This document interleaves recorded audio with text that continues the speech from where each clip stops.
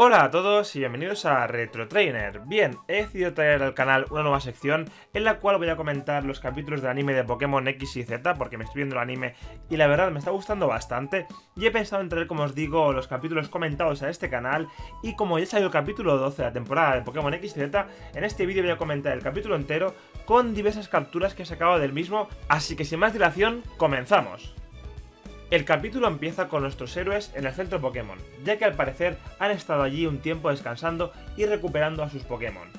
Serena está cepillando a su Eevee mientras que Pancham y Bryson se ponen celosos ya que ellos también están esperando su turno, y finalmente Serena acaba por acicalar a todos sus Pokémon. Una vez listos, Serena se acerca a la televisión que hay en el centro Pokémon para enterarse de todas las novedades de la región, y es entonces cuando aparece un mensaje importante de Monsieur Pierre, el presentador de cada gran espectáculo Pokémon, el cual lanza un mensaje a todos los que quieran presentarse al siguiente concurso Pokémon, el cual tendrá como tema principal el baile. Serena se emociona mucho al enterarse de que podrá participar en un nuevo gran espectáculo, pero esta emoción se vuelve euforia cuando Monsieur Pierre dice que para este evento deberán llevar una pareja de sexo opuesto para bailar. Automáticamente, Serena se pone roja de la emoción solo de pensar en poder bailar con Ash, y le pregunta a su Eevee si le apetece ser el Pokémon del baile, puesto que los Pokémon también participan con una pareja.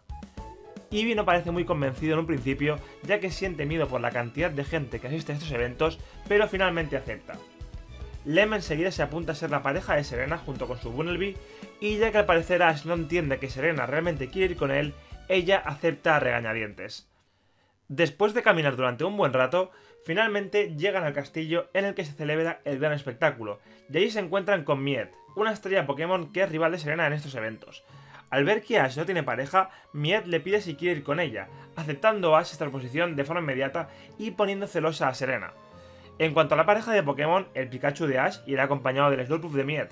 y tras una pequeña conversación, ambos se van de la mano dejando a Serena plantada. Obviamente, el Team Rocket también está por allí, y es que Jesse y James van vestidos para la ocasión y se disponen a darlo todo en el gran espectáculo, así que finalmente todos entran en el recinto. Al inscribirse en el concurso, todos los entrenadores reciben unas tarjetas misteriosas, las cuales tienen un efecto que se ha revelado más adelante, y los recepcionistas invitan a los participantes a pasar a la sala del vestidor para elegir sus prendas. Miet y Serena se vuelven locas al ver la cantidad de ropa que hay en este salón, e incluso los Pokémon tienen distintos accesorios para probarse y salir al escenario totalmente cambiados. Miet empieza a probarse todo tipo de ropa mientras el pobre Ash va cargando con todas las prendas sin tener más elección, cosa que de nuevo molesta a Serena por la forma en que Miet lo trata. Finalmente todos están preparados para el baile, Serena, Lem, Clem, Ash e incluso los Pokémon han obtenido accesorios y trajes para dar lo mejor de ellos mismos en este baile. De repente todas las luces se apagan y una escalera se ilumina, todos miran hacia allí y aparece Monsieur Pierre junto a Aria, la actual reina de Kalos en cuanto a los espectáculos Pokémon, iniciando un baile de apertura que posteriormente se convierte en un baile para todos. Incluso los Pokémon lo pasan bien, e Eevee está más feliz de lo habitual, aunque Pokémon como Pikachu o incluso el propio Ash no son muy buenos en esto del baile. Empiezan a cambiar las parejas, y al igual que los Pokémon han de buscar a alguien con quien bailar, los participantes también, Así que Serena, tras unos cuantos bailes con distintas personas, va en busca de Ash para poder estar junto a él en este momento tan especial. Aunque justo en el momento en el que se van a dar la mano para comenzar a bailar, la música para y el baile termina, arruinando así los planes de Serena y dejando como siempre indiferente al ingenuo de Ash llega el momento de saber para qué servían las cartas, y es que hay cuatro entrenadores que han sido elegidos para librar una batalla doble tras el baile principal y que tienen un símbolo especial en sus tarjetas. Estos son Ash, Serena, James y Miet.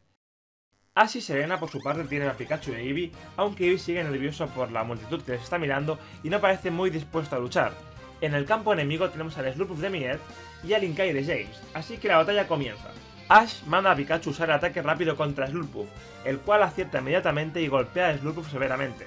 De todas formas, mientras Slurpuff está en el aire, consigue lanzar una Energibola que se dirige peligrosamente a Pikachu, aunque antes de que acierte, Serena manda a Eevee lanzar un ataque rapidez para contrarrestar el Energibola y salvar a Pikachu. Inkai se dispone a atacar a Pikachu, pero este lanza un cola férrea que manda a Inkai directamente al suelo, Parece que el combate va viento en popa para y Serena, pero entonces Miet le propone a James seguir una estrategia para poder vencer fácilmente. Tras un ataque de Inkai, Slurpuff lanza un Esporagodón, dejando atrapados a Pikachu e Eevee sin poder moverse, momento que James aprovecha para volver a atacar con Inkai y dejar a Pikachu prácticamente debilitado. Eevee sale en su defensa lanzando un ataque rapidez, pero este es contrarrestado por la Energibola de Slurpuff y finalmente el Inkai de James golpea a Eevee, dejándolo en el suelo prácticamente fuera de combate. Serena se agacha rápidamente a por Eevee, dándole ánimos para seguir luchando.